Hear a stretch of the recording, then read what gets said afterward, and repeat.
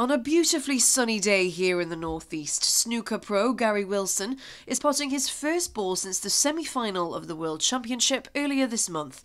Ranked 30th in the world, Gary has taken down some of the greats, including Jimmy White and Ronnie O'Sullivan. But it just wasn't to be that day at the Crucible, ultimately losing out 17 11 to Judd Trump, who went on to take the title.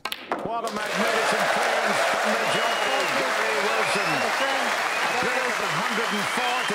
Generally, it was obviously amazing. Um, never, I've never been as far as even past the last 32, the first round at the Crucible. So to get as far as the semi-finals um, after only the second time ever being there, it's, it's obviously in a way a little bit more than you could ever hope for. Um, I always wanted to try and win one day, and I always still want to do that. But to get to the semi-finals was great. Yeah, there was there was sort of more attention than I ever thought there would be. Like I didn't, I still haven't realised really getting home how much how much people were supporting and looking out for it. I think it's just a local lad doing well in sport, and that's like more, more than I ever thought it would be. Yeah.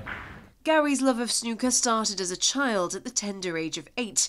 He went on to win a number of national titles as one of the most promising young players in the country. And from then, really, even throughout school, just practicing nearly every day and uh, just try to get to a point where I could turn professional as quickly as I could.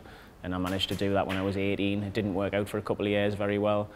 Then I was off the tour, still trying to get back on the tour again, uh, but having to do full-time work, doing bar work and factory work and taxi work. And then it's only since around 2013 that I got back on the tour again. So I've had the last six or seven years where I've actually been progressively doing better and better and earning a living now. So that's, that's been the main objective and that's what I'm, I'm most happy about really. But it doesn't end here. Gary's about to start training for next season already, but he was able to take some time out to try and even teach me a thing or two. Yes!